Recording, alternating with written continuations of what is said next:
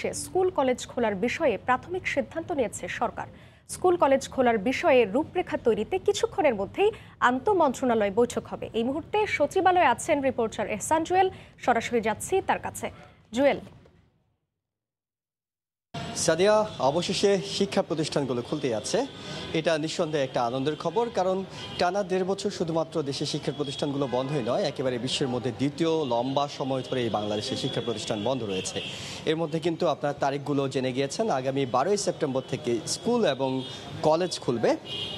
পনেরোই অক্টোবরের পরে খুলবে বিশ্ববিদ্যালয়গুলো এবং তেরোই অক্টোবরের পরে যে মেডিকেল শিক্ষা প্রতিষ্ঠানগুলো আছে, সেগুলো খুলে দেওয়ার কথা রয়েছে। তবে এক্ষেত্রে সবার আগ্রহ যে বিষয়টা নিয়ে, সেটা হলো যে শিক্ষা প্রতিষ্ঠানগুলো যদি খোলা হয়, তবে কীভাবে সেগুলো পরিচালনা করা হবে? এবং সেটি ঠিক করতেই আজকে বিকেল তিনটায় মন্ত্রী পরিষদের সভাকক্ষে একটি আন্তঃমন্ত্রণালয় সভা হতে যাচ্ছে, যেখানে সভাপতিত্ব করবেন শিক্ষামন্ত্রী ডাক্তার দীপুমণি একই সঙ্গে সরকার সাতজন মন্ত্রী এই বৈঠকে উপস্থিত থাকবেন এবং থাকবেন সংশ্লিষ্ট যারা আছেন, বিশেষ করে আইন শৃঙ্খলা বাহিনীর প্রধানরা থাকবেন। থাকবেন স্বাস্থ্য মন্ত্রণালয় স্বাস্থ্য অধিদপ্তরের মহাপরিচালক সহ সংশ্লিষ্ট কর্তৃপক্ষ। তারা বিকেল তিনটায় শুরু করে যে বিষয়গুলো নিয়ে আলোচনা করবেন।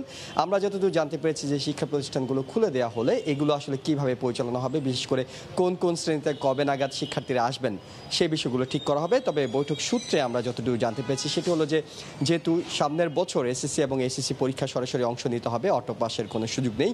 তাই তাদের আসলে সপ্তাহে ছয় দিন করে ক্লাস করতে হবে। কিন্তু অন্যান্য শ্রেণীতে যারা ক্লাস করবেন, বিশেষ করে class one, two, three, four, five, এইরকম যারা আছেন, তারা কিন্তু প্রত্যেকটা দিন ক্লাসে আসার সুযোগ পাবেন না।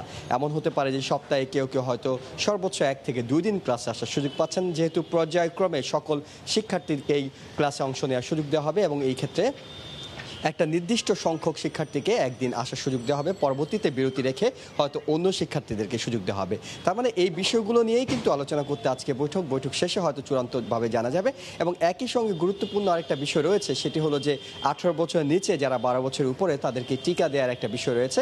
সেই বিষয়টা নিয়েও কিন্তু আজকে আলোচনা করা হবে। কারণ আপনারা জানেন যে গত বৃহস্পতিবার কারিগরি পরামর্শ কমিটি তাদের বৈঠক করে সিদ্ধান্ত জানিয়ে দিয়েছে যাতে শিক্ষা প্রতিষ্ঠানগুলো খুলে দেওয়া হয়। তবে আরেকটা বিষয় বলে শেষ করব, সেটা হলো সাদিয়া যে শিক্ষা প্রতিষ্ঠানগুলোর মধ্যে বিশ্ববিদ্যালয়গুলো পনেরোই অক্টোবরের পরে খোলার কথা বলা হলেও শিক্ষামন্ত্রী আভাস দিয়েছেন, এই তারিখটা এগিয়ে আনা হতে পারে। আজকে বিশ্ববিদ্যালয়, পাবলিক বিশ্ববিদ্যালয় উপাচার্যদের সঙ্গে বৈঠক করে সে বিষয়ে আলোচনা হবে এবং বৈঠক শেষে আমরা আসলে আপনাদের জানাতে পারব কোন কোন বিষয়ে চূড়ান্ত সিদ্ধান্ত এলো। এখন পর্যন্ত এই ছিল আমার কাছে সাদিয়া, সবশেষ খবর।